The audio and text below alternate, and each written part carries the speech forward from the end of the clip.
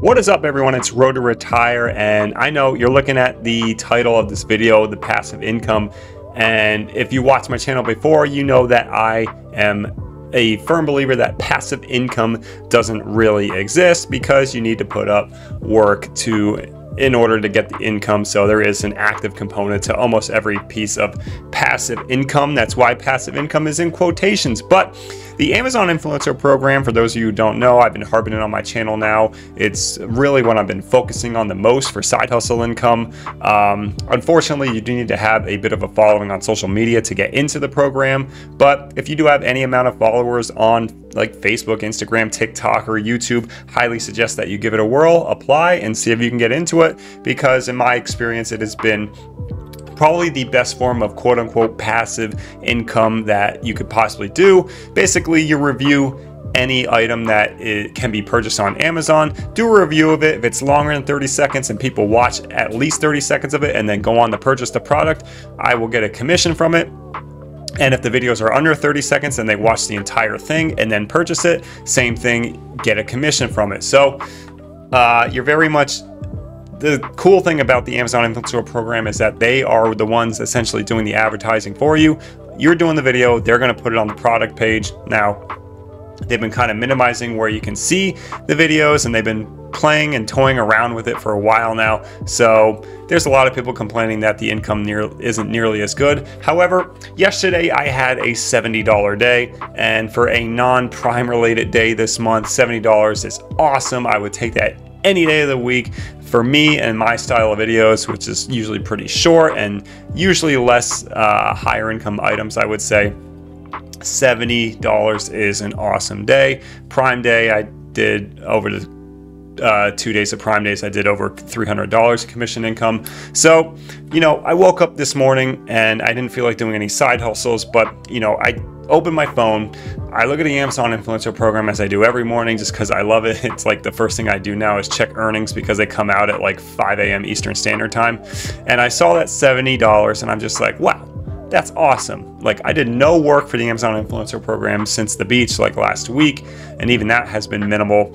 And here it comes $70 for future income. And it, it occurred to me that, you know, I need that kick in the ass. I need that motivation. So, welcome to the Extreme Passive Income Challenge. Uh, it is currently July 18th when I'm recording this at 9:42 p.m. So it's very late. So essentially, the start date will be tomorrow, July 19th. But by the end of July, okay, July 31st at midnight, and I'm probably not going to be able to uh, accomplish this, but hey, I'd rather aim super high and fall a little bit short and get results. But my goal, and I'll be super impressed with myself if I can hit it, 300 additional brand new videos to my Amazon influencer uh, homepage here, my storefront.